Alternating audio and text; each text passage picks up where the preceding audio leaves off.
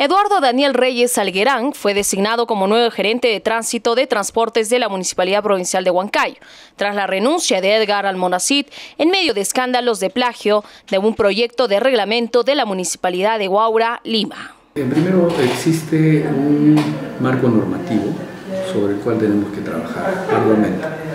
Lo normativo va de la mano con lo técnico y sobre todo dentro de lo racional, ¿no? porque no se puede procurar este, modificar el tránsito o mejorarlo de alguna forma, eh, teniendo acciones un tanto fuera de la razonabilidad, porque de alguna forma pues, este, estamos en esta situación porque la propia municipalidad lo ha permitido en, en, algún momento.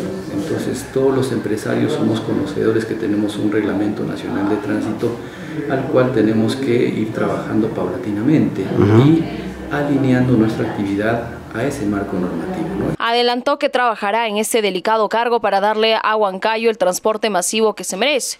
Luján Salguerán explicó que el servicio de transporte debe contar con vehículos de categoría M3, es decir, buses, y de mayor tonelaje que preste mayor seguridad al usuario y tenga la capacidad de pasajeros que brinde un servicio más eficiente. Vuelvo a reiterar, el trabajo tiene que ser técnico, tiene que ser legal y racional.